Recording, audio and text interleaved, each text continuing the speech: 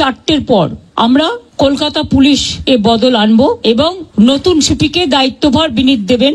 আরও কিছু পুলিশের রদবদল হবে, সেটা চিফ সেক্রেটারি কালকে নোটিফাইড করে দেবেন আফটার ফোর ও ক্লক নর্থের ডিসি পৌঁছেছিলেন আগে এবং চোদ্দ তারিখে ঘটনাটা ঘটেছিল এবং ওরা অভিযোগ করেছিল যার জন্য নর্থের ডিসিকেও সরিয়ে দেওয়ার সিদ্ধান্ত হয়েছে। ওখানে কাকে দায়িত্ব দেওয়া হবে, সেটা কালকে ডিসাইড হবে। অভয়া পরিবারকে, অভয়ার উদ্দেশ্যে শ্রদ্ধা জ্ঞাপন করে মিটিংটা আমি শুরু করেছি পরিবারকে সমবেদনা জানিয়ে। এবং ওদের যে পাঁচটা ডিমান্ড ছিল, তার মধ্যে ফার্স্ট ডিমান্ড তো ইনভেস্টিগেশন সিবিআই ওটা তো অলরেডি সিবিআই করছে এবং সুপ্রিম কোর্ট মনিটরিং করছে, ওটা নিয়ে তো আমাদের হাতে নেই। প্লাস ওদের চারটে ডিমান্ড ছিল।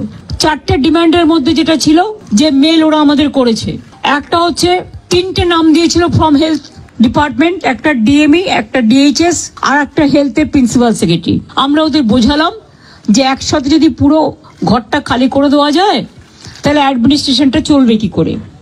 সুতরাং আমরা ওদের কথা মতো ডিএমএ এবং ডিএইচএস কে সরাবার সিদ্ধান্ত নিয়েছি।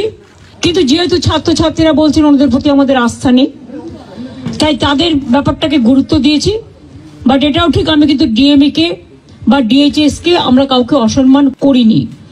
কিন্তু ওদের বিরুদ্ধে যেহেতু চিকিৎসকদের ক্ষোভ আছে এবং তাই ওদের দাবি মেনে নিয়ে আমরা বলেছি এই দুজনকে সরানোর সিদ্ধান্ত আমরা নিয়েছি। আর চার নম্বর ডিমান্ড যেটা ছিল সিপি বিনীত গোয়ালকে সরিয়ে দেওয়ার জন্য। বিনীত গোয়াল ওদের কাছে নাকি আগেই স্বীকার করেছিল যেটা ওরা মিটিংয়ে বললেন যে আমি পদত্যাগ করতে চাই কারণ আমার মনে হচ্ছে তোমরা যখন আমার প্রতি আস্থা রাখতে পারছ না, আমরা কথা বলি নিজেদের মধ্যে।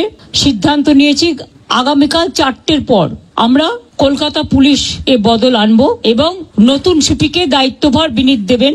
আরও কিছু পুলিশের রদবদল হবে, সেটা চিফ সেক্রেটারি কালকে নোটিফাইড করে দেবেন আফটার ফোর ও ক্লক নর্থের ডিসি পৌঁছেছিলেন আগে এবং চোদ্দ তারিখে ঘটনাটা ঘটেছিল এবং ওরা অভিযোগ করেছিল যার জন্য নর্থের ডিসিকেও সরিয়ে দেওয়ার সিদ্ধান্ত হয়েছে। ওখানে কাকে দায়িত্ব দেওয়া হবে, সেটা কালকে ডিসাইড হবে। এছাড়াও সেফটি সিকিউরিটি হসপিটালের ডেভেলপমেন্ট ইনফ্রাস্ট্রাকচার গুরুত্ব দিয়ে দেখা হবে।